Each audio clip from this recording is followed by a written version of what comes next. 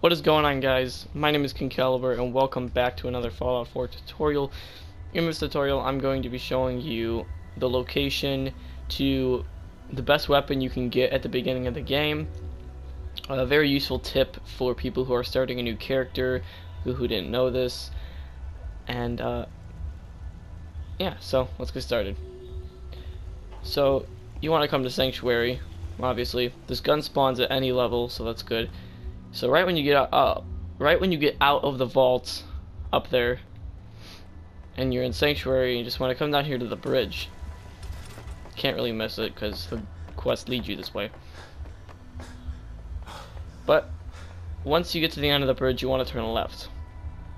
There's going to be some enemies down here, so be prepared for that.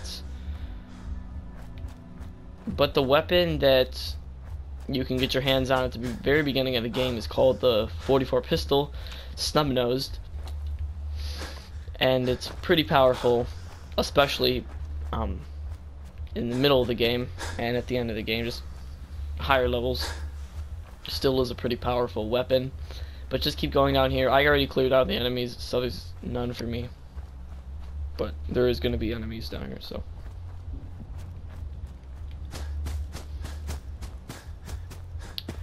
But once you find this thing, this tub looking thing, it's the circuit breaker thing. You can activate it if you want,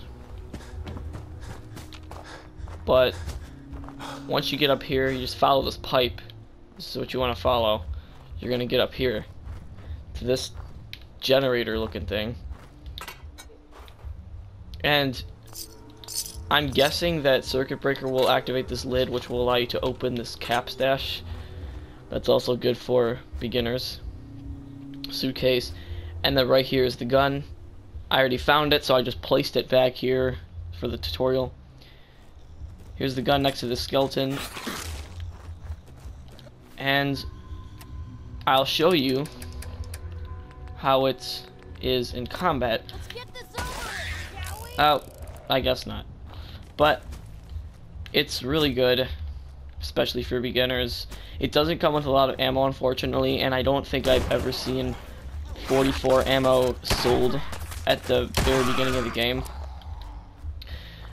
So yeah, the ammo for this gun's pretty scarce, but you still got your hands on a really nice weapon that you can use if you do find ammo for it. I'm not even sure, but yeah. So anyway, I hope you guys enjoyed this Fallout 4 tutorial. If you did, please hit, hit that like button and subscribe. Definitely for more Fallout 4 and Destiny content coming in the future. I'm probably going to have a build out tomorrow. Fallout 4 build, possibly, I don't know. Because making these builds takes planning. There's also a med kit up here that you can take too. Forgot to point that out. Actually, I didn't even know. So this is a really good stash for beginners, definitely. And yeah, so I'll see you guys later. Peace out.